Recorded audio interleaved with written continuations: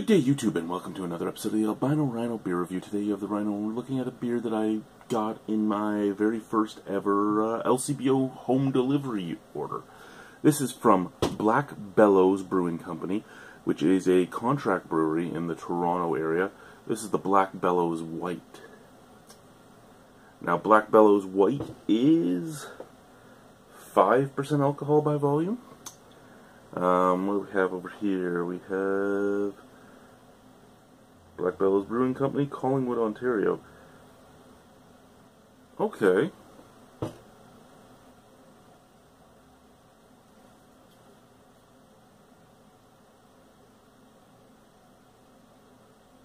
Hmm.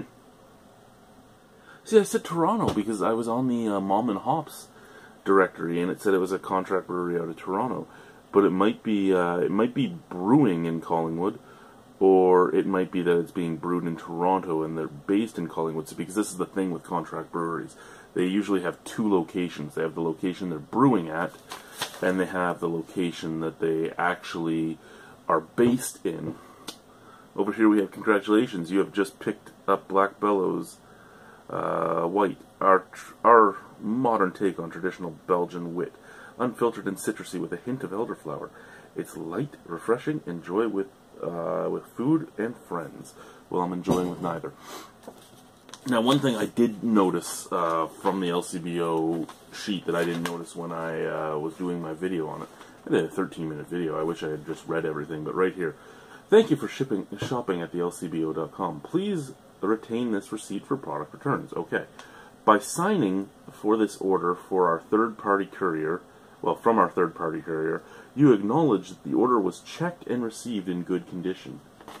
Right there is what I, I'm weirded out by. So there is a lot of glass and stuff in this, unless it's broken so much that it's leaking through by now. But since they use so much peanuts and they use the uh, they use the really soft peanuts that stick to your hands that would soak up a lot of liquid, you have no idea until you get into there whether or not everything is in good condition. And I can tell you right now, the Canada Post lady ain't set, sitting at my door while I open it to make sure that everything is in the box and that uh, nothing's wrong with it. She's dropping, getting my signature, and running the fuck out of there. That's what she's doing. Now, actually, my wife picked up today. I don't even know if she signed for it or ID'd it, to be honest. Uh, I'm going to have to check online later. Uh, because it is a mandatory signature and a mandatory uh, identification according to the LCBO. Uh, but yeah, I'm surprised she even came up to the door with it. To be honest, uh, uh, when it's stuff like that, she usually just gives me my my hanger, and I have to go to the uh, go to the post office and pick it up myself. But yeah, so my only real complaint about that is uh, is just that you know, by signing, you're acknowledging that everything is good and you've checked the box.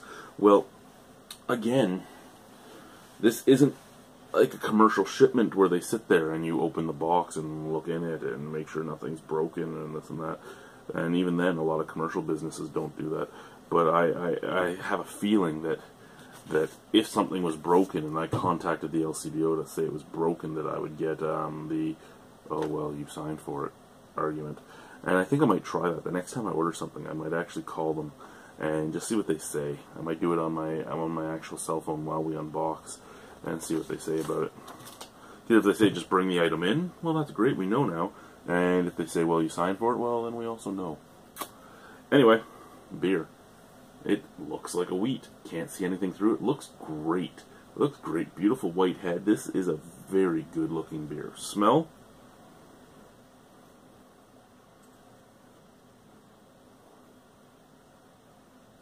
A little saison in that uh, it has that that just cereal green weediness. It has a little bit of that banana. It has a lot of citrus, but not just uh, not just orange. It almost has a little bit of lemon in there too. A little bit of dirtiness, a little a little bit of uh, a little bit of cloves. Like th this has a lot more notes to it than just a normal white does. Um, and again, I, I've never really seen a contract brewery that has its own caps. So that's that's awesome to me. Other than maybe Spearhead. Uh, cheers. Let's try this. Most of them, most of them can.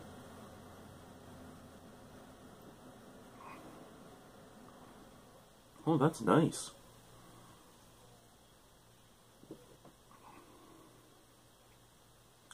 Very nice.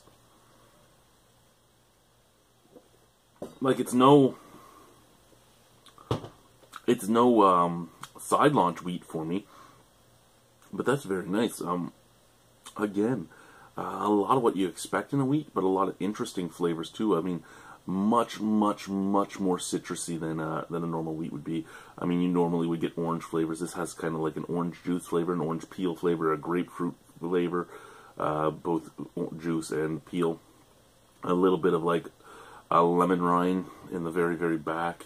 Um, very nice, very refreshing. I just want to see what the price was on this guy.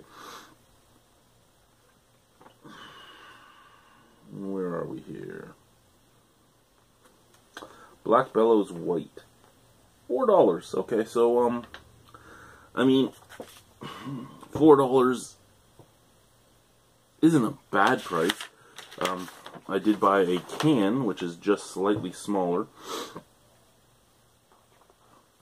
of white from uh, Waterfront White, which was 285. So if that's anywhere near as good, that would be more what I would go with. That's more what I would expect for just a white. However, this is a glass bottle, not a can, which is why you get the bigger price. Uh, yeah, it's a good beer, and it's under four dollars, so it's a it's a pint for less than a pint would be. It, it's less than a pint of macro would be at most bars. So I mean, that's a nice beer. Lemony, earthy and floral on the back end. A little hoppier than I'd expect in a wheat, but you know what? It doesn't matter. It's a nice beer.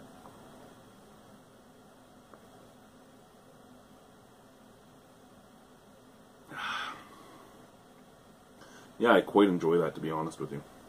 Out of 10 on that? That's a 7.5 for sure. Uh, that is a nice white. So, Black Bellows White, 7.5 out of 10. First beer out of my case that I bought, and it's a good one. Thank you guys. Au revoir, I'll be on toast. See you soon. Cheers.